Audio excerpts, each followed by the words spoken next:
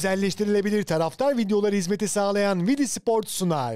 Bugünkü programımızda TFF 2. Lig Kırmızı Grup'ta 16. haftada oynanacak olan maçların öncesini Furkan'la beraber değerlendireceğiz. Furkan öncelikle merhaba. Merhaba Metehan. Cumartesi 2, pazar günü 8 Kırmızı Grup'ta toplam 10 maç var bu hafta sonunda. Evet. İlk bir hatırlatmalarımızı yapalım ardından programımıza başlayalım. İlk olarak izleyicilerimiz maç tahminlerimizi ve analizlerimizi ayrıca spor haberlerini golvar.com'dan takip edebilirler. Kanalımızda bulunan videoların altında açıklama kısmında golvar.com'un linki mevcut. Oraya tıklayarak bizi golvar.com'dan takip edebilirsiniz. Ayrıca kanalımıza abone olmadan videolarımızı izleyen izleyicilerimizden kanalımıza abone olmalarını özellikle rica ediyoruz. Videolarımıza beğeni ve yorum yapmayı da lütfen ihmal etmeyin. Senin hatırlatmaların var mı? Ben de öncelikle e, videomuzu izleyen herkesten videomuzu sonuna kadar izlemeni rica ediyorum. Ayrıca herkesten de yorum ve özellikle beğeni bekliyoruz. Aynen rica ediyoruz. Sponsorumuz Vidi Sport'la beraber yapmış olduğumuz özelleşebilir taraftar video kartları projemiz için de tüm kulüplerden geri dönüş bekliyoruz. Hiçbir şekilde yatırım maliyeti yok, hiçbir şekilde ekstra maliyeti yok. Sıfır maliyette kulüpler bu projeyi elde edebiliyor. Evet. O yüzden tüm kulüplerden projemizle ilgili geri dönüş yapmalarını bekliyoruz. Maçlara geçelim. Tamamdır. İlk olarak cumartesi günü iki maçımız var. Bu iki maçla başlayacağız. İlk maçımız iki başkent ekibinin mücadelesi olacak. Etimeskut Belediyespor Ankara Demirspor'u ağırlayacak. Bir tarafta bu sezon istikrarsız bir performans sergileyen ve beklentilerin altında kalan Etimeskut Belediyespor. Diğer tarafta da bana göre şu ana kadar sana göre de iyi işler yapan, özellikle hocası Serhat Gülpınar iyi bir performans sergileyen Ankara Demirspor. Aynen öyle. Özellikle Mert Örnek çok ön plana çıkıyor bu sezon Mervan Ankara Demirspor'daki. Mervan da iyi oynuyor genç oyuncu. Zaten Ankara Demirspor'un çok iyi bir merkez orta saha üçlüsü var. Oktay Aydın, İrfan, bir de Harun Aydın. Çok önemli oyuncular bunlar. Nasıl bir maç bekliyorsun? Zor bir maç olarak görüyorum. Ankara Demirspor kaybetmez diye düşünüyorum. Senin yorumun ne olur? Etimeskut'ta da form düşüklüğü var biliyorsun. Hani bu Bence sene bir türlü değil de daha doğrusu istikrarsızlık, var. İstikrarsızlık var. Daha doğru senin dediğin aynen. Nasıl bir maç bekliyorsun? Bence güzel ve zevkli geçmeye aday bir maç. Senin yorumun ne olur başkentte? Vallahi bu maç e, çok zor bir maç. Ankara derbisi gibi bir maç olacak. Zaten Ankara derbisi. iki Ee, başkent ekibi. Aynen öyle. Yani şu andan diyorum normalde derbi olarak söylenmiyor ya maç. Doğru. E, o yüzden hani bunu söylüyorum derbi olarak diye. Şimdi Etimeskut bizim beklentimizin çok uzağında gidişatı var. Bu Şu sene anda evet. hani bir türlü o ritmi yakalayamadı. Maalesef. Şu anda mesela Kırklareli Spor da aynı şekilde. Etimeskut da aynı şekilde. Bu iki takım zaten. Bu iki takım grupta. beklentimizin çok dışında istikrarsız Aynen. gidiyorlar. Ee, Ankara Demirspor da geçen hafta Karacabey'i resmen ezerek maçı 3-1 kazandı. Doğru. Ee, Mervan Yiğit de özellikle İrfan'ın oyunu çok ön plana çıktı. Mervan hem bir gol attı hem de penaltı pozisyonunda top alıp daha doğrusu öncesinde savunma arkasını sarkıp ardından da penaltıyı aldıran oyuncu oldu. Ben bu karşılaşmada iki taraftan da gol ve goller bekliyorum. Ama maç ne olur ne biter bir şey söyleyemem. Zor bir maç olacak. Kim kazanır diyemiyor Yok bir şey musun? diyemiyorum. İki takımdan gol bekliyorsun. Goller bekliyorum. Bol Peki. gol olur diyorum. Tamamdır. İki takıma da başarılar dileyelim. Bakalım ne olacak? Eğer Ankara Demirspor burada da kazanırsa playoff için çok önemli bir engeli Kesinlikle. geçer. Bir de bu hafta Trabzon e, pardon Karacabey Kocaeli Spor maçı varken O da doğru. Ankara Demirspor kazanırsa Karacabey'in de puan farkını ikiye düşürecek. Eğer Hani Karacabey takılırsa. takılırsa aynen. Vay, o da var. Bakalım ne olacak. İki takıma da başarılar dileyelim. Bir diğer mücadeleye geçelim.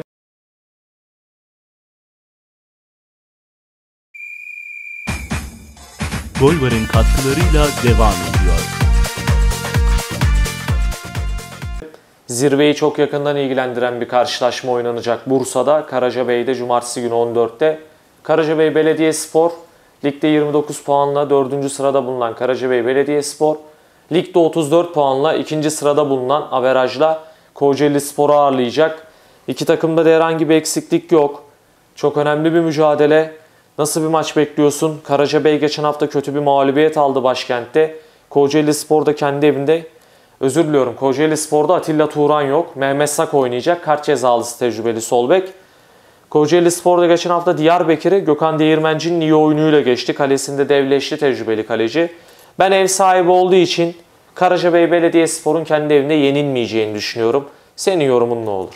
Vallahi şimdi bu maç çok zor bir maç. Tabii, bu zor bir maçı maç. arkadan Buca Spor, İskenderun Spor, Trabzon, Ankara Evet. Demirspor gibi takımlar da fazlasıyla takip edecekler. Ayrıca Van Spor da var. Çünkü Gözleri bu maçta olacak çünkü maç bu maçta bir gün önce onların maçında Evet. rahat rahat takip edecekler. Kulakları değil direkt gözleri orada Zaten olacak. İskenderun Spor'la e, Buca Spor'un böyle bir avantajı var. Bu maçın cumartesi oynayıp oynanıp kendilerinin de pazar oynaması Tabii. bir avantaj aslında bir nevi. Çünkü sonuçta bu iki takım kazanamayacak. Ya biri kazanacak ya da ikisi birbirini kırıp beraber bitecek. O da olabilir tabii. Bu yüzden baktığımız zaman da hem Burcu hem de İskenderun Spor açısından aslında bu maç yine her türlü e, avantajlı çıkacakları bir maç olacak. Eğer tabii ki onlar da kazanırsa. bu maçın söyleyeyim. nasıl bitmesini ister diğer iki takım Beraberlik. sence? Direkt Değil mi? beraberlik. Bence de aynen. Ne isteyecek ki? Buca Spor şimdi gider Kocaeli'nin kazanmasını ister mi? Yok. Şimdi Karacabey'le puan farkı 5 mesela Buca'nın.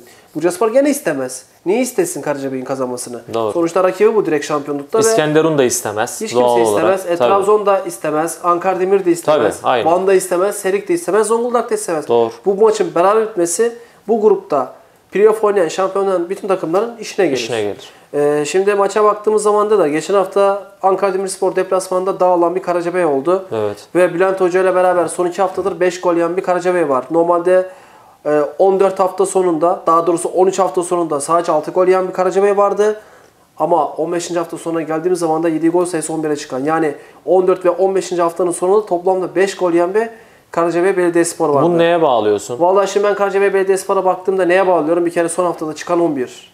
Erdem'in oynaması, şey Erdin'in oynaması. Mus- Caner'le Mustafa'nın aynı anda yedek kalması orta sahada İşte bence. devremi çıkıp Yusuf Erdem'in oyuna girmesi. Bu takım tek kovalet oynayamaz. Çift oynamalı. O yanlış. Ardından oyuncu değişikliklerinde gene Onur Karakaban oyundan çıkması.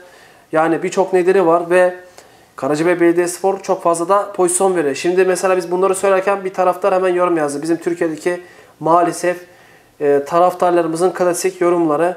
Hemen bir hoca gidip bir hoca geldiği zaman da bir hocanın kötüsü varsa yani son gelen hocanın hemen eski hocayla kıyaslama noktası. Mesela şimdi çok gol yemeye başladı ya Karacabey. Bir taraftar da onunla ilgili yorum yazmış. Recep Hoca varken biz bu kadar yemiyorduk dediler.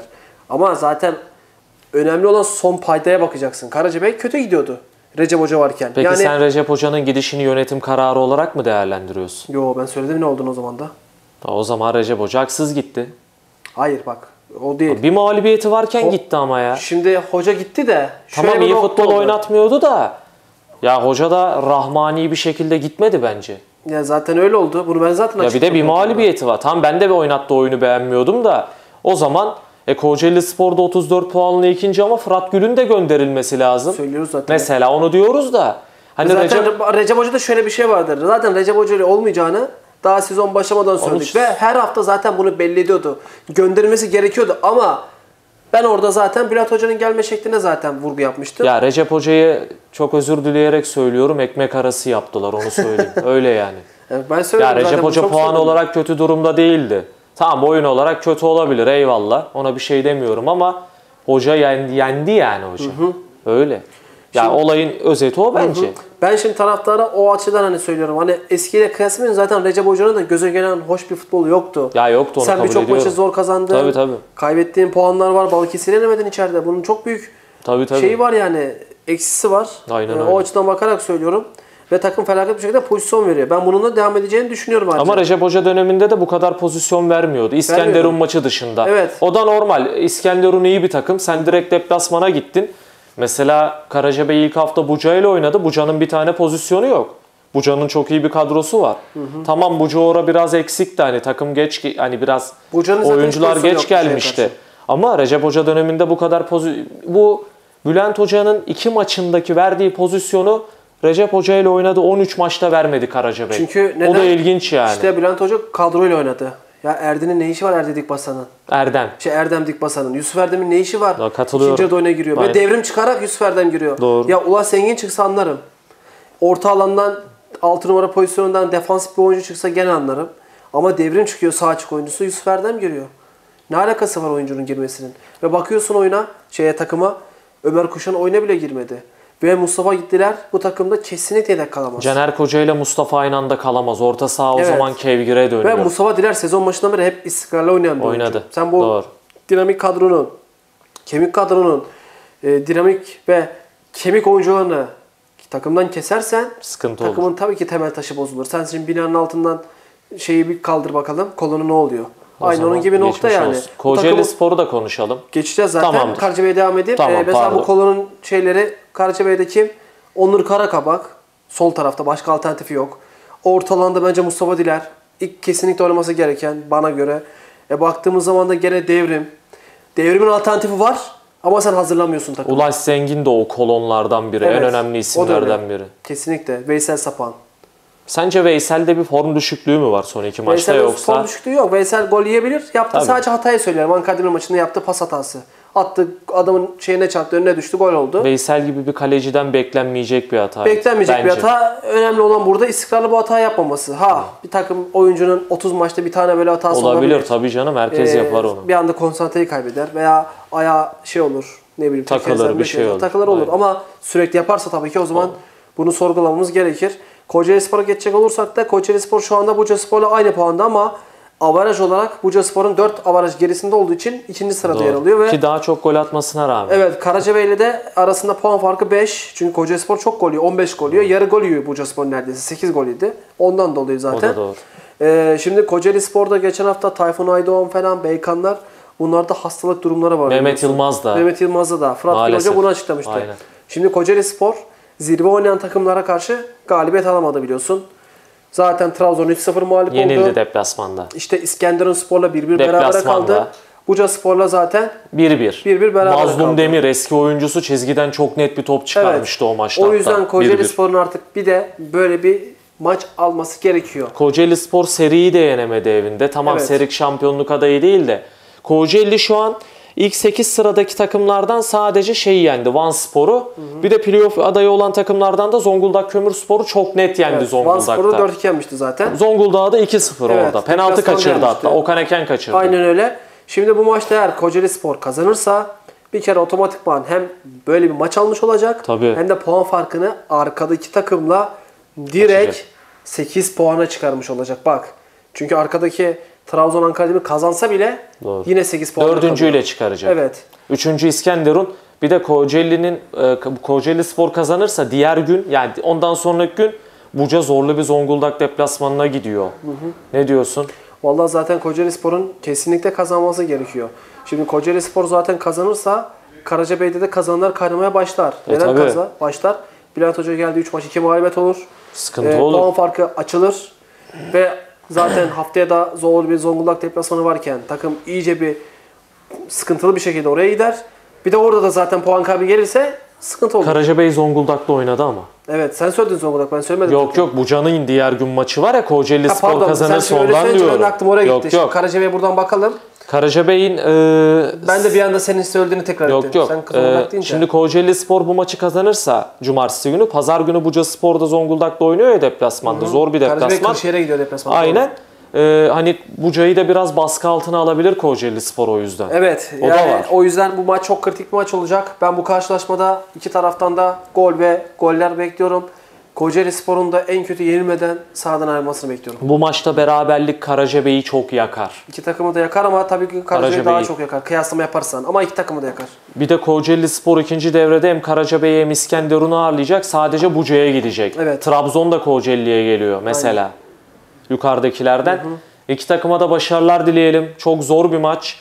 Ben Karacabey yenilmez diyorum. Sen Kocaeli Ben yenilmez dedin Kocaeli. Spor. Kocaeli Spor'un da kaybetmeyeceğini Bakalım ne olacak. Ee, Kocaeli Spor'da da Cihat Çelik ve e, savunmada Yalçın geri dönüyorlar. Cezaları bitti. Onu da söyleyelim. Sol bekte de Mehmet Sak oynar herhalde. Evet büyük ihtimalle. Atilla'nın yokluğunda. İki takıma da başarılar.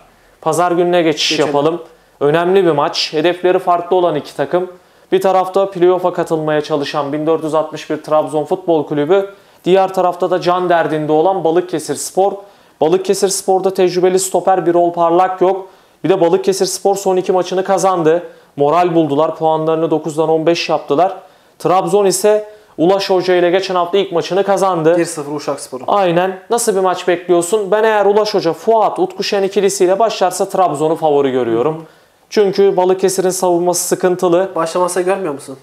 Ya şöyle çift forvet başlarsa işi daha kolay olabilir diye düşünüyorum. Senin görüşün ne olur? Valla şimdi son haftalarda toparlayan bir Balıkesir Spor var. Doğru. Ee, son haftada da kazanan bir Trabzon var. Uşak Spor'u 1-0 mağlup etti. Aynen. Kerem Baykuş'un çok güzel yaptığı asistle. Ee, şimdi şu maça baktığımız zaman da e, Trabzon playoff'a Balıkesir Spor'da Ligde ligde, kalmayı oynuyor. Tabii. Ee, o yüzden iki tarafında kesinlikle kazanması gereken bir maç. Yani Aynen. beraberlik falan bu iki takımı da Kurtarmaz. şekilde kurtarmaz. Peki söyleyeyim. Balıkesir için Trabzon gibi zorlu bir deplasmandan bir puan kötü olur mu? Hani şöyle. Bu maçtan 3 alamadın ama 1 aldın. Kötü olur mu? Bence olmaz diye Ya düşünüyorum. kötü ne diyorsun? olmaz. Evet yani kağıt üzerinde bakarsan, kadroları koyarsan, gidişatları koyarsan kötü olmaz. Öyle gösteriyor.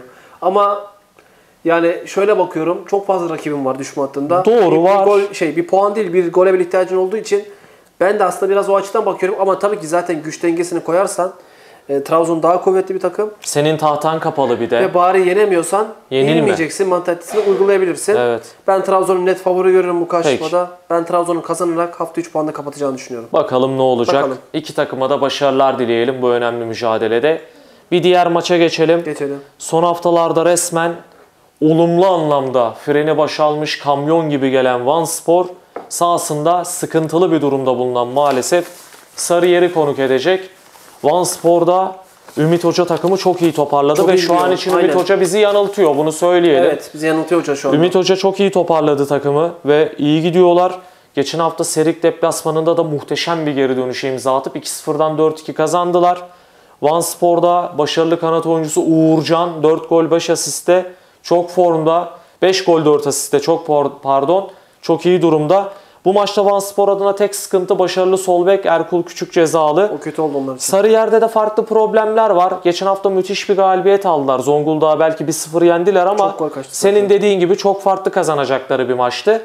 Ama Sarıyer'de şu an bir belirsizlik var. Şu an bir hoca gelmedi. Ee, bir kongreye gidilecek. hocaları çalıştırıyor şu an takımı. Aynen. Ee, Senin bir duyumun var mı Sarıyer'e gelecek bir hoca yok, var mı diye? yok. Ee, ben de pazartesi günü hocanın neden gönderildiğini tahmin ettiğimi söylemiştim. Yapmış olduğu açıklama ve zaten yapmış olduğu çelişkili açıklama da burada söylemiştik. Hangi programlarda, hangi maçların Doğru. öncesinde diye. Ee, Selçuk Başkan da iki gün önce bir açıklama yaptı. Daha doğrusu dün yaptı galiba. Ee, hocanın yapmış olduğu açıklamadan dolayı yollar ayrıldığımızı söylediğini söyledi. Hmm.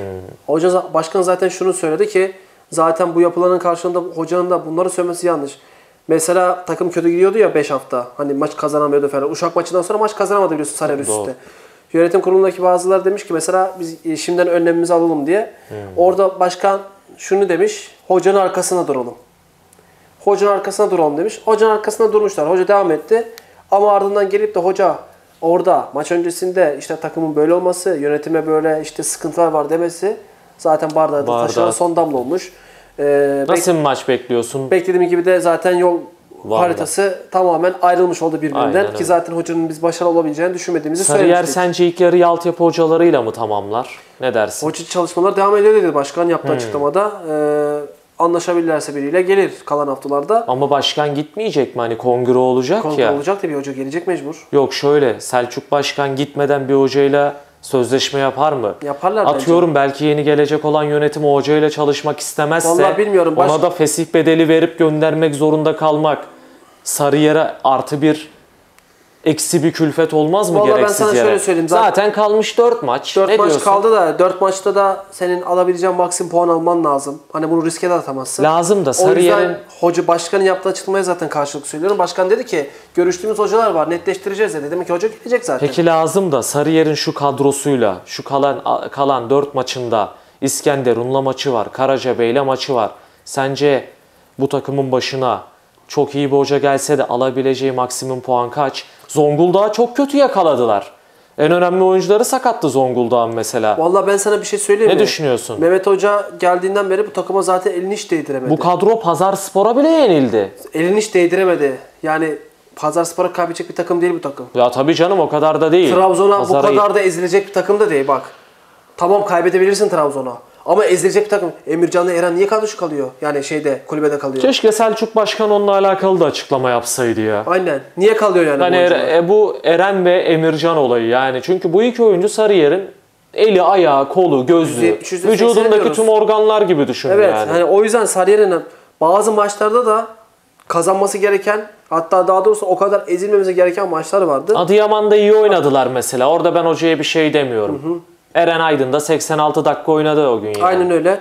Bakalım hoca konusunu bekleyeceğiz artık. Van Spor'da bizi zaten hoca şaşırtıyor son haftalarda. Ümit Hoca çok formda. Ee, geçen hafta beklediğim gibi kazandılar. Ben en kötü kaybetmezler demiştim Serik Belediyespor karşısında. Çünkü oyunlara onlara ters gelen bir oyunu var diye Doğru. bahsettim. Şimdi bu maçta da şöyle bir nokta var. Ee, burada da çok farklı dünyaların takımı var. Şu anlamda hücum hattında. Sarıyer'in bence hücum hattı çok daha iyi forveti. Van'da zaten forvet yok. Yaser geçen 90 artı 2'de girdi. Evet. Yaser bence gene yedek başlar. Hazır Şimdi Eren olduğunu Aydın çok iyi bir forvet bence Yaser'e göre. Peki sence Eren Aydın 11'de oynar mı? Oynarsa diye söylüyorum. Ben şimdi kadının genelinden bahsediyorum. Emircan Sayar var. E Taha Dönmez de yanında Emircan ve Eren birisi oynadığı zaman da hatta ikisi oynadığı zaman da etkili olan bir Berkay oyuncu. Görmez de değerli bir oyuncu. Berkay zaten hep oynuyor. Forvet o yüzden. Sarıyer'in hücum gücünün özellikle yani forvet hattından alıyorum. Daha iyi olduğunu düşünüyorum ama bunu kullanman gerekiyor Ama zaten. Sarıyer'in de savunması çok kötü. Tabii kötü. Şimdi Van Spor'da Alihan Sarıyer'in tüm savunmasına bedel bir oyuncu. Bence. Öyle. Ama işte Van Spor'da mesela gol noktasında sıkıntı yaşayabilir. Tabii ben bunu sadece iki takımı kıyaslayarak Ama Van söylüyorum. Spor sence santraforsuz oynamasına rağmen gol sıkıntısı çekiyor mu? Yok çekmiyor da. Hani bölüşüyorlar yani Bölüşüyorlar oyuncular. da atıyorum bir maçta kitlenir kanatlar. Forvetinden de zaten katkı alamıyorsun. Bu sefer kitlenebilirsin. Ben ben ihtimalleri koyuyorum. Bu böyle olacak diye söylemiyorum. Uğurcan kitlenirse Van Spor sıkıntı çekebilir. Çeker tabii işte. Biraz Uğurcan'a e, ayağına isterim. daha çok bakıyorlar. Aynen öyle. Ben bu karşılaşmada bir tek sen Van Spor'un kazanacağını e, 16. haftayı da 3 puanla kapatacağını düşünüyorum. Ben Bakalım ne olacak. Van Spor'u net favori görüyorum. Bu maçın saati şu an 14'te görünüyor ama belki bu maçın saati gene 13'e alınabilir. Onu da Bence alınır söyleyelim. gibi duruyor. Van'daki maçlar, Van'ın en sahibi olduğu maçlar hep 13'e alınıyor Evet. Van Spor'un. Sarıyer cephesi belki ister hani 13'e çekilebilir. Bakalım iki takıma da başarılar, Başarılar dileyelim. dileyelim. Bakalım ne olacak. Bir diğer maça geçelim. Geçelim. Kritik bir maç. Son haftalarda ikinci ligin en formsuz takımlarından biri olan Fethiye Spor sahasında ligden düşecek olan Pazar Spor'u ağırlayacak. Ya Pazar Spor'un kurtarması imkansız. Çok zor görünüyor. Fethiye Spor'da da Selim Kayacı yok. Tecrübeli orta saha oyuncusu geçen hafta kırmızı kart görmüştü. Fethiye Spor çok kötü durumda ama daha da kötü durumda olan Pazar Spor karşısında ben kazanacaklarını düşünüyorum kendi evlerinde. Erhan Altın Hoca için ne düşünüyorsun? Erhan Oynamasını Al- dilerim. Bayram Hoca işi yattı. Ardından da Fethiye Spor tam 25 tane hoca varmış listede. Erhan Altın Hoca geldi. Ben Erhan Altın Hoca'yı zaten hiç beğenmiyorum. Yanlış bir tercih olduğunu düşünüyorum. Spor'da da çok kötüydü zaten. Ama bu maçı kazanacaklarını düşünüyorum. Bu maçta Fethiye Spor'un başında Erhan Altın değil. Ben de çıksam Fethiye bence maçı kazanır, kazanmalı. Çünkü Fethiye Spor'un tecrübeli oyuncuları var. O oyuncular bir şekilde bu maçı bence kazanırlar. Zaten Fethiye, e, Fethiye Spor, Pazar Spor da kendi evinde yenemezse Kim yenecek? söylenecek söz yok. Senin yorumun ne olur? Şimdi zaten Erhan Altın Hoca, öncelikle hayırlı olsun dileyelim. Şimdi Erhan Altın Hoca'nın ben e, yanlış bir tercih olduğunu Ben de, ben de aynı Sen ne görüşteyim. düşünüyorsun bilmiyorum. Ben de diyorum ya işte. Ee, Fethiye Spor zaten kötü gidiyor ve bu kötü gidişatı durdurabilecek, buna çözüm üretebilecek bir hoca olduğunu ben düşünmüyorum. Panzehir olacak, yara Aynen. merhem. Şimdi Pazar Spor çok kötü durumda. Zaten bunu herkes biliyor. Bu grubun en zayıf takımı şu anda ve Açık düşecek ara. diyoruz. Ben Fethiye Spor'un kazanacağını düşünüyorum. Ama altını çiziyorum. Fethiye Spor kazanamazsa ben şaşırmam. Çok gol yiyen bir takım.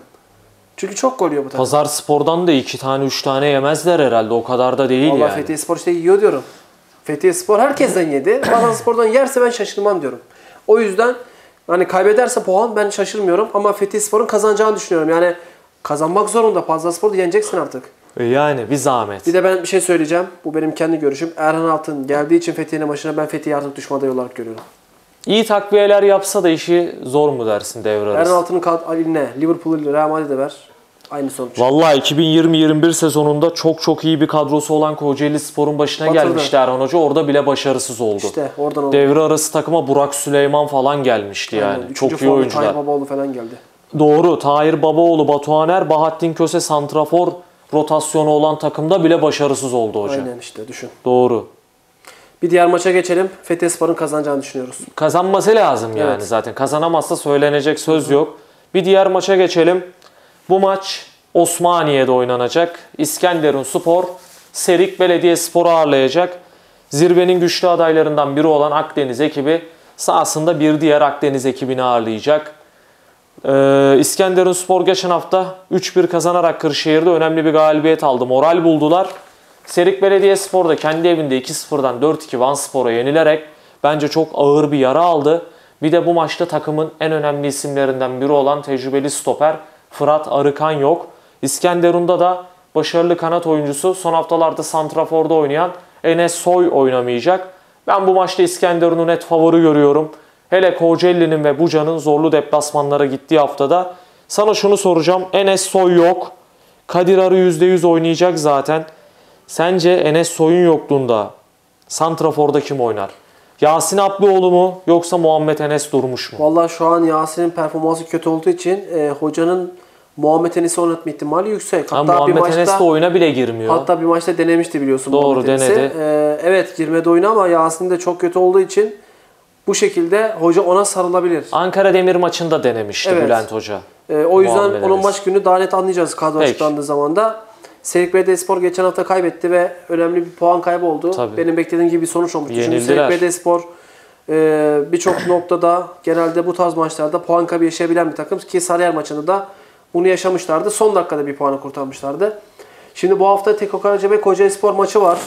Buca Spor'un da maçı bir nevi biraz daha kazanabileceği noktada. Çünkü Zonguldak'ta çok fazla eksikler Bunu var. birazdan konuşacağız, Konuşacağız hatta. birazdan zaten. Doğru. Ee, ben bu karşılamada İskenderun Spor'un kazanarak hata yapmayacağını ve haftayı 3 puanla kapatacağını düşünüyorum. Ben de seninle aynı görüşteyim. Bir kanatta Kadir Arı, bir kanatta Onur Ramazan %100 oynayacaklar zaten İskenderun'da. Santrafor'da bakalım Muhammed Enes mi Yasin mi? Bakalım. Hangisi oynayacak? Bir de maçın Osmaniye'de oynanması İskenderun Spor için olumsuz bir nokta olur mu? Olur tabii ki. Kendi evlerinde oynayamıyorlar yine. İskenderun Spor'un biraz bir an önce devre arasına girip devre arasından sonra da kendi sahasında oynaması lazım. Sence Kırıkan'da. geçebilecek mi? Kırıkan'da yani işte. Kırıkan da kendi stadı değil ki. Ama İskenderun en azından. İskenderun'da da. İskenderun azından- Spor'un stadı Sarıseki'de. En azından dolu olur yani. 15 bin şey 15 bin diyorum. Ee, en azından kapasitesi çok yok az. yok o anlam değil. Hı. En azından 15 dakikada gelip gidiyorlar evinden taraftarlar. Yani buralara geliyorlar gidiyorlar 3-4 saatte. Kırıkan stadının kapasitesi 4000 mi ne? Öyle 3800 Çok 4000 düşük. zaten. Ee, aynı şurada örnek vereyim. Amespor'un Diyarbakır stadyumu var. Bir de Seyrantepe'de oynadı. Doldu değil mi? Burada da dolar. Önemli olan İskenderun içerisinde oynasınlar. Ama gidiyorlar Hatay stadyumuna. Dolmuyor zaten. Maksimum dolacağı önemli maçlarda 10 bin olur. En 8 bin fazla. Kocaeli maçında Ha. da oldu. O kadar. O yüzden ben İskenderun Spor'un kazanacağını düşünüyorum. Bakalım ne olacak. İskenderun Spor'un çok ciddi bir sıkıntısı var. Kendi evinde deplasman yaşıyor Evet. maalesef. Aynı İstanbul Büyükşehir Belediyespor'un zamanında olduğu gibi yani. İkimiz de İskenderun tarafındayız. Serik'te de Oğuzhan Doğan ve Sergen gibi iki tane önemli oyuncu Fırat dönüyorlar. yok. Yok Oğuzhan'la e, Sergen Kırmızı Yatağan cezası- dönüyor. Fırat yok. Ha, kırmızı kaç cezası Aynen. Tecrübeli stoperi yok. Bakalım Erbay'ın yanında kim oynayacak? İkimiz de İskenderun Ali İbrahim. Sevinç de dönüyor galiba. Dönüyor. Aynen. O da dönecek. 3 oyuncu dönüyor. Fırat yok ama. İki takıma da başarılar, Başarılar dileyelim. dileyelim. Bir diğer maça geçelim. Kritik bir maç. Zonguldak'ta, Karadeniz'de. Zonguldak Kömürspor lider Buca Spor'u ağırlayacak. Buca Spor çok formda. Geçen hafta kendi evinde Adıyaman'ı 5-1 yendiler. Bu maç öncesinde de önemli bir moral buldular. Özellikle Erhan Çelenk çok formda müthiş bir performans sergiliyor. Kupalara fısıldayan adam. Zonguldak Kömürspor'da da sen dün Şenol Hoca ile konuştun, görüştün telefonda. Evet. Hocanın sıkıntıları var maalesef. Bu antrenman sahası olayı falan takımı çok yakıyor. Bir de sakatlıklar var iki tane. Zaten sakatlıklar o yüzden oluyor. Sentetik çimde oynadığı şey idman yaptıkları için maalesef. Halı sahada idman yapıyor Zonguldak Kömürspor. Yani koskoca Zonguldak kenti artık oraya bir el atılması gerekiyor. Biz de bunu sürekli söylüyoruz.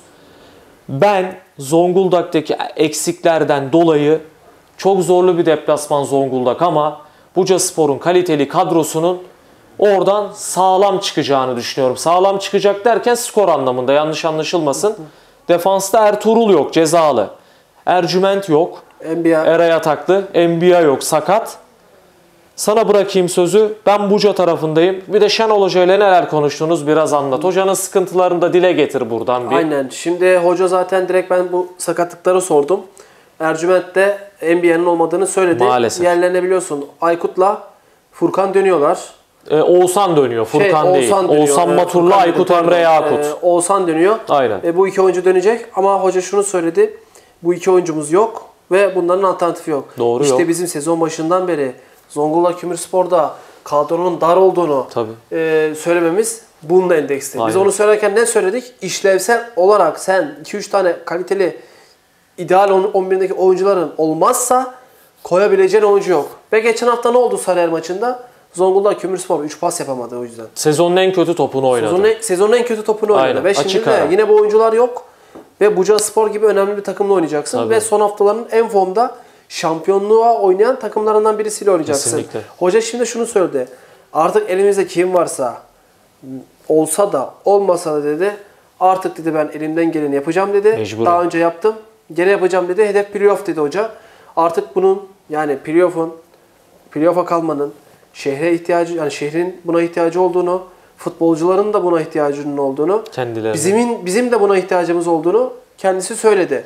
Yani kısacası hoca başarılı olmak istiyor. Ne kadar sıkıntıda olsa bunu söyleyelim. Hocanın işi çok zor ama. Ama işi çok zor. Bunu Aynen. da söylüyoruz. Maalesef. Çünkü biraz önce dediğimiz gibi ve şimdi dediğimiz gibi ve sezonun başından beri dediğimiz gibi 2-3 tane oyuncu sakatlansın Allah korusun. Bir şey koyamıyorsun yerine. Doğru. Yani koyamadığın zaman da bu büyük bir sıkıntı oluyor. Şimdi şöyle bir örnek vereyim. Buca Spor'da Berke Bıyık yok. Takımın son haftalarda en formda oyuncularından biri. Kulübede Erhan Şentürk ile İlhan Depe var. evet. İlhan Depe zaten TFF 1. En Lig'de Süper Lig dersin ki bir futbolcusu. haftada işin içine girer dersin. Yıllarca Kasımpaşa'da Süper Lig'de oynadı. Karabük'te İlhan Depe. TFF 1. Lig'de şampiyonluk yaşamış oyuncu. Erhan Şentürk 2. ligin en önemli oyuncularından biri. Bu sene formsuz ama bir şimdi Buca'nın kadro genişliğine bakıyorsun. Taşkın Çalış kulübeden giriyor. Sen Taşkın'ı Murat Zonguldak Kömür'e götürsen Zonguldak Kömür'de direkt takım kaptanı olur. Şimdi örnek verelim. Bu maçta NBA yok değil mi? Evet. Buca Spor'da sonradan oyuna giren forvet Tunç Murat. Tunç Murat Behram. Zonguldak'a versen oynasa bayram eder. Mesela Berke'nin yerine Tu- e, Mehmet Fuat'ı sağa çekip Cüneyt Hoca Tunç Murat'ı bile en uçta başlatabilir. Her türlü varyasyonları yapabilir. Öyle bir kadrosu var. Ama Zonguldak'ın malzemesi çok dar. Buca'da Uşak maçında Lokman'la maz- mazlum cezalıydı deplasmanda. Yalçın Eycan Kaya ile Onur Özcan oynadı. Evet. Yedek iki stoperi yukarıya oynayacak takımlarda 11 oynayacak oyuncular. Buca'nın Enes Alıç cezalı duruma düşüyor sol bekte. Abdullah Balıkov alternatifi. Çok geniş kadrosu var. Kesinlikle öyle. Buca Spor'un. Zonguldak Kömürspor'da tam tersi çok büyük sıkıntı var. Sadece onda da kalmıyor. İtman noktasında da sıkıntı var. Tesis noktasında. Sağ yok ki. Sıkıntı yaşıyorlar. Maalesef. Vallahi ben bu karşılaşmada son haftaların formda olan takımı Buca Spor'un kazanacağını düşünüyorum. Ayrıca bol golde bir maç bekliyorum. Erhan Çelenk gollerine devam eder mi ne dersin? Etme ihtimali %99'larda yüksek. Bakalım. Ben de Buca Spor tarafındayım. Buca Spor için Zonguldak zor bir deplasman bu ligde her takım Evet, için. Fakat şu anki zor. şartlarda Buca Spor için avantajlı gittiği bir deplasman. Zaten Zonguldak şu şartlarda kazanırsa ki özellikle beraber bile kalsa Kötü değil. bence kötü değil. Katılıyorum. Ama kazanırsa zaten 6 puanlık galibiyet gibi olur. Buca Spor burada takılırsa Buca Spor adına çok büyük kayıp olur. Kesinlikle kazanması gereken maç Evet. Zonguldak'ın bu sıkıntılarında özellikle. Evet. İki takıma da başarılar dileyelim. Selamlarımızı da yollayalım. İki tarafa da gönderelim selamlarımızı. Bir diğer maça geçelim. Geçelim. Kırklareli Spor, Kastamonu Spor maçını konuşacağız. Kırklareli Spor'a geçmişken de Uğray Gören'e büyük geçmiş Evet, olsun. gözü çok kötü olmuştu. Çok ciddi bir sakatlık. Allah Ameliyat korusun. olacak zaten. İnşallah en kısa sırada döner sağlığına kavuşur. Şimdi Kırklareli Spor bu sene çok istikrarsız. Kırklareli Spor'da Mert yok. Ee, 11'in önemli isimlerinden Mert Çöl geçen. Geçen hafta atılmıştı çift sarıdan. Ee, Kastamonu'da sakatlık problemleri var. Kemal Can, Burak Berkan Tuğran olmayan isimler. Nasıl bir maç bekliyorsun? Bir tarafta istikrarsız bir performans sergileyen Kırklareli Spor.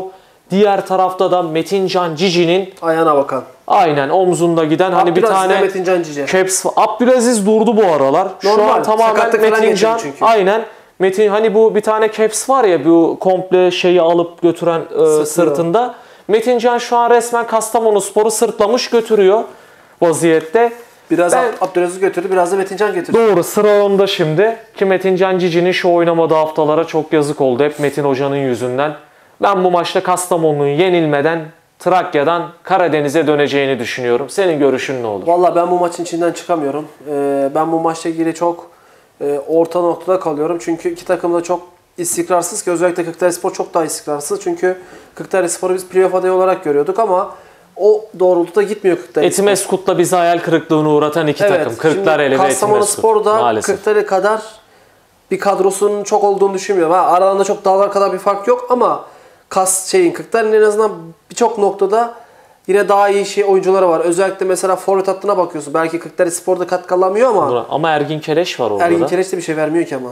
Aslında Kastamonu'nun isim olarak iyi oyuncuları var da. Yok var da hücum anlamında Kırklareli Spor daha etkili ve özellikle Kırklareli Spor'da mesela Furkan Fehmi, İşte Sabrican. Ömercan Sokullu, Enes Sabrican İslam. Vural. Enes İslam bir şey yapmıyor. Şu anda Yap, yapanlardan bahsediyorum daha çok. Sence Furkan Fehmi ve Sabrican da çok bir şey yaptı mı? Furkan Fehmi şu anda Onlar daha da çok yaptı. durdu Sabrican ama. bir şey yapmadı zaten. Onlar da durdu. Durdu zaten. Kırklarelispor'da öyle bir sıkıntı var. Kastamonu Spor'la kıyasladığım zaman da zaten ben bunu söylüyorum. Kastamonu'yu Metin, Metin. Can'ın kadro dışı kaldığı haftalar yaktı. Yaktı tabii ki. Metin Can oynasaydı o 9-10 maçta Kastamonu'nun puanı bence Kırklareli'den de Etimeskut'tan da Biz fazlaydı. zaten sezon başından beri ne söyledik bu takımda? Abdülaziz ile Metincan dışında oyuncu yok. Ve Abdülaziz'i saydık sonra. Hucumda. Aynen. Abdülaziz tek kaldı. Kaç hafta götürdü bu takımı. Şimdi sakatlandı. Bir sak- e, sakatlık durumuna girmişti. Maalesef. O yüzden zaten performansı düştü. O arada Aynen. zaten Metincan kadroya girdi. O takımı sırtlıyor. Benim maçla ilgili hiçbir görüşüm yok. Hmm. Ne gol, ne galibiyet, ne beraberlik, ne kart, ne kaç taraftar olur, ne olur, ne biter bir şey söyleyemiyorum. İki takıma da başarı dileklerimi iletiyorum. Kastamonu'nun savunma hattı şampiyonla oynayacak takımların savunma hattı. Evet. Özellikle Erman, Kemalcan Aydemir bunlar çok iyi oyuncular bence. Kesinlikle öyle. Şu Faruk Öcal, Yakup Yiğit. Kadroya giremiyor Yakup Yiğit. Hani onu söyleyelim. Kastamonu'nun devre arası kesinlikle 8 numara alması lazım. İki yönlü iki tane. Evet. Benim kendi Bunu görüşüm. zaten söylüyoruz hep. Santrafor mesela. Sen görüş gol anlamında da mı Yok, bir şey? hiçbir görüşüm yok Peki ben de Kastamonu yenilmeden Karadeniz'e döner diyorum. Bakalım, ne olacak. İki takıma da başarılar. Diyarbakır Spor, Kırşehir Çok Futbol kritik bir maçına maç. başlayalım. Bir diğer maça geçelim. Alt sıraları felaket yakından ilgilendiriyor. Alt sıraların ateşini ligde çok kötü durumda bulunan Diyarbakır Spor kendinden bir tık daha iyi durumda bulunan ama o da kötü durumda bulunan Kırşehir Futbol ve Spor Kulübü'nü ağırlayacak. Kırşehir'de Hacı Mustafa Karabulut cezalı. Onu söyleyeyim. Diyarbakır'da kart anlamında bir eksik yok. Ama Diyarbakır'da bir bakmışız bir oyuncu kadro dışı kalmış ya da iyi bir oyuncu yedek kalmış. Hani orada öyle durumlar olabiliyor. Vallahi çok sıkıntılı bir maç. Nasıl bir maç bekliyorsun? Ben Diyarbakır'ın kendi evinde yenilmeyeceğini düşünüyorum ama beraberlik Diyarbakır'a yaramaz. Kırşehir de sıkıntılı durumda.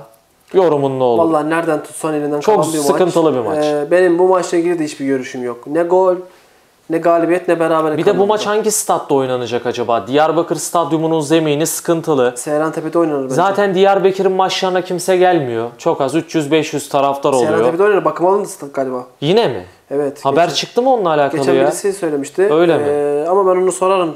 Sen Ee, sor bir sana ama rica edeyim Bu maç senden. büyük ihtimalle Diyarbakır Stadyumunda oynanmayacak. Bence bu maç Seyrantepe'de oynanmalı senin dediğin gibi. Çünkü Diyarbakır'ın maçlarına taraftar gelmiyor. Amespor'un maçı o. Amespor mesela atıyorum. 5. ligden bir takımla oynasa gene 10 bin kişi geliyor en Tabii. kötü. Gelir.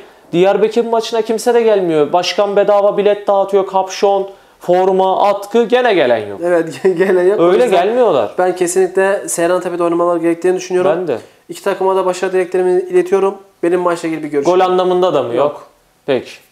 İki Sen takıma da- güvenebilir misin Kırşehir gol atabilir diye? İki tane forvetleri var. Ahmetsun, Onur Garip. Attıkları gol toplamı bir. Ahmet Su'nun iki tane golü güme gitti. O kötü Evet. oldu. Ama baktım mı bir gol atmışlar. İki ya da üç tane güme Onur gitti. Garip forvette oynuyor. Garip garip hareketler yapıyor. ne yapayım ben? Taraftarına büyük tepkisi var Onur Garip istemiyor da oynamasını. Sence Kırşehir devre arası transfer yapabilir mi? Kırşehir transfer yapmayı bırak. Marketten ekmek alması bile zor. O kadar maddi sıkıntı var. Yani hocalara verilen paraları biliyoruz teklif edilen çok düşük yani. Peki tamamdır. Yani Kır- Kırşehir'in zaten ya zaten bak Kırşehir'in transfer yapsa bile sence kaliteli transfer yapabilir mi? Çok zor. E zor. E zaten transfer yapması transfer yaptığı anlamına gelmez ki. Kalitesiz oyuncu alacaksan hiç alma daha iyi zaten. İki sene Para önce bu takımda iki sene önce üstün Mehmet Alaaddinoğlu, Hakan Yavuz falan vardı. Volkan Altınsoy vardı. Evet. Yani Onur Karakabak. Çok iyi oyuncular vardı. Aynen. Nereden nereye bakalım. İki takıma da başarılar Evet. dileyelim. Son maçımıza geçelim. Bu maçta Adıyaman çok Futbol Kulübü kritik. Bu da küme düşme hattını felaket yakından ilgilendiriyor. Adıyaman Futbol Kulübü sahasında Uşak Spor'u ağırlayacak. Adıyaman'da ciddi sıkıntı var. Türker, Ömer Yıldız kadro dışılar. Zaten kadro dar. Geçen sene Balda oynayan iki sene önce Ömürcan Karaca şu an takımın bel bağladığı oyuncu. Ha, iyi oyuncu olsa olur da kötü oyuncu yani. Uşak Spor da iyi oynuyor. Hatta birkaç iyi sonuç aldılar fakat geçen hafta biraz hakem katliamına uğradılar. değil, Tra- fazlasıyla. Penaltıları verilmedi. Aynen biraz değil doğru. Onur Demir yok tecrübeli oyuncuları. Şimdi bak Adıyaman'ın kritik bir fikstürü var. Uşak'la oynuyor, Pazar'la oynuyor, Balıkesir'le oynayacak üst üste. 3 tane direkt rakibi. 7 puan bile kurtarmaz. Adıyaman buradan iyi, iyi durumda çıkamazsa Adıyaman ikinci devre hep direkt rakiplerine gidecek. Sarıyer, Uşak. Balıkesir, Balıkesir'e de gidiyor. Kırşehir'e gidecekler. Kırşehir'e gidecek. Aynen. Bir de Adıyaman'a yeni bir hoca geldi. Gökhan Beklemiş. O da Kırşehir'deydi. Gökhan buraya Beklemiş geldi. hocadan ne bekliyorsun? Ben senin ne diyeceğini biliyorum. Bir Yok, şey ben- beklemeyin yok, Ben sana diyeceğim. sordum. Ben ne söyleyeceğim? Sen Ben ne şunu söyleyeyim. Adıyaman gene yanlış bir tercih yaptı ama Adıyaman'ın bu durumuna iyi bir hoca gelmez ki. Ho- şöyle bir durum var. İyi bir hoca buraya gelse görür ortamı gider iki günde. e ne yapar? Kalır mı burada? Akıl Vallahi var mantık var. öncelikle- Şimdi sana bir şey diyeceğim. Sen bir hocasın.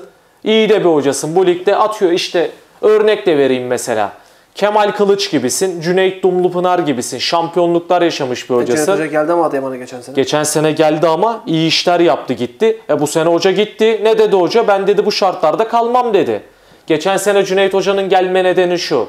Taraftarlar hocaya resmen Kamtu Adıyaman FK dedi. O da kıramadı. İyi bir bağ vardı aralarında. Ama hoca bu sene artık dedi yani yapamam dedi burada. E şimdi sen buraya iyi bir hoca gelir mi buraya Allah aşkına? Kemal Kılıç buraya gelse Kemal Kılıç orada 2-3 kişinin kellesini alır de. Kemal Kemal Hoca'yı görmüyor musun? 34'te 2 tane oyuncu değiştiriyor. Aynen. Geçen kendi açıklama yaptı. İşler çok kötüydü dedi. Direkt aldım dedi oyundan. Hoca öyle. Adıyaman'a anca böyle sesi çıkmayan hocalar gelir. Evet. Şimdi Kendini ifade edemeyen. öncelikle Gökhan Beklemiş hamlesinin hayırlı olmasını iki taraf için dileyelim. Gökhan Beklemiş de Adıyaman daha çok bekler. Yani başarı bekler ama başarı olmaz. Onu Çok söyleyeyim. zor aynen. Ben yine aynı şeyimi söylüyorum. Adıyaman Futbol Kulübü'nde Alper Aslan olduğu sürece Adıyaman Futbol Kulübü'nün beli doğrulmaz. Ee, takım iyi noktada gitmez. Getirdiği hocaların hepsine bakıyorsun. Hepsini toplayalım. Bu takım hükmedebilecek bir hoca çıkmıyor. Sıradan hocalar geliyor hep Adıyaman'a. Yani bir şey veremeyecek, hükmedemeyecek hocalar geliyor. Ve Adıyaman Futbol Kulübü geçen sene 10 tane hoca getirdi. Şu an bu dördüncü hoca bu sene 4. altını çiziyorum. Dördüncü hoca Gökhan Beklemiş de gidecek beklemeden. Beşinciyi alacaklar. Türkiye'de 3 tane kulübümüz hoca Tuzla, re- Diyarbakır, Adıyaman. Sen Heh, söylemeden ben Aynen öyle. Zaten Tuzla ile Diyarbakır aynı. Başkanlar aynı zaten. Feyzi Adıyaman Başkan. yani onlara bir tek takım sayabiliriz.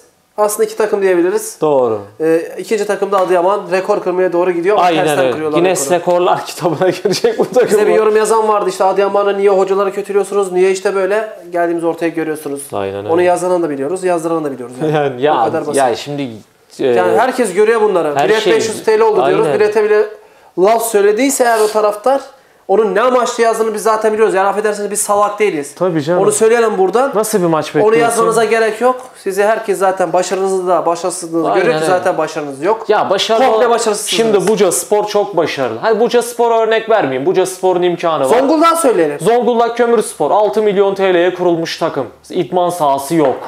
Stadı 60-70 yılından kalan stadı. Yı- Yılların stadı. Stadın bazı yerlerinde koltuk yok stadının. E Zonguldak Kömürspor'un da imkanı yok. Takım bir şeyler yapıyor. Mesela Van Spor'da biliyoruz maddi problemler Kısıtlı. vardı. Evet bu sene imkanlar çok da iyi değil. Ama Van Spor çok iyi işler. 1461 Trabzon sadece 1 milyon TL harcadı bu sene transfere. Playoff hattının içinde. Aynen. Adıyaman da iyi bir takım kurabilirdi. Ama buraya kimse gelmez ki böyle bir yapıya. E, tabii ki kim gelecek buraya zaten. Takım çok kötü yani. Bir de biz zaten bunları söylüyorduk ya sezon başından beri. Bizi dava edeceklerdi. Onları da bekliyoruz. Dava etsinler bizi.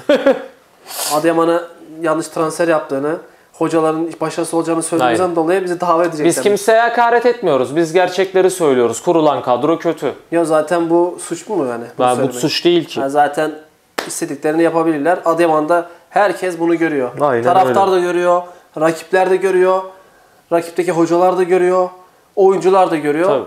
Ve şu anda Adıyaman içerisindeki oyuncular da zaten bunu görüyor. Ee, ben bu karşılaşmada Uşak Spor için neler diyeceksin? Uşak Şöyle Spor'da söyleyeceğim. konuşalım. Zaten ona gelecektim. Tamam. Ee, Uşak'la Adıyaman'ı kıyasladığım zaman da son döneminde özellikle Uşak çok daha formda zaten. Ve daha daha iyi gidiyor ki puan olarak da zaten 13-12 gidiyorlar şu anda kafa kafaya ve Adıyaman tam düşme hattında şu anda. Son 5 maçta 10 puan aldı Uşak Evet. Spor. 3-1-1. 3 galibiyet Aynen mağlubiyet geçen hafta da iyi oynadı ama hakemin maalesef kurbanı oldular. Doğru. Ee, Uşak'ta ciddi anlamda hücum sıkıntısı var. Sadece 10 gol atabildi. Tabii ki Adıyaman da çok gol atamadı. 13 golde. Ee, ben bu karşılaşmada iki taraftan da gol ve goller bekliyorum. Ama Adıyaman'ın kazanacağını düşünüyorum biraz. Ben ev sahibi olduğu için Adıyaman tarafındayım. Ben de Adıyaman tarafındayım. Kazanacaklarını düşünüyorum ama hani Uşak puan alır veya kazanır falansa şaşırmam tabii ki. Hedef maç iki takım içinde. Bakalım ne olacak. Bakalım. İki takıma da başarılar dileyelim. Hatta tüm takımlara başarılar Evet. dileyelim. Ee, hafta sonunda oynanacak maçlarda. Senin ekleyeceklerin var mı Ben de tüm kapatırken? takımlara başarı dileklerimi iletiyorum. Projemiz için de tüm kulüplerden geri dönüş bekliyorum. Herkese iyi seyirler dileyelim. İzleyen herkesten öncelikle kanalımıza abonelik, ardından videomuza beğeni, yorum ve sosyal medya hesaplarımızdan bizleri takip etmeyi unutmasınlar. Her takıma, tüm takımlara tekrardan başarı dileklerimi Aynen. iletiyorum. Ben de sana teşekkür ederim. Ağzına Rica ederim. sağlık. Bizi izleyen tüm izleyicilerimize çok teşekkür ederiz. Tüm kulüplere, şehirlere, izleyicilerimize de selamlar olsun. Herkese iyi günler, hoşçakalın. Hoşça kalın, iyi günler. Spor kulüplerine taraftar etkileşimleri sağlayan, sponsorluk değerlerini arttıran ve yeni gelirler kazandıran Vidi Sport'un sunduğu Trivela Sport sona erdi.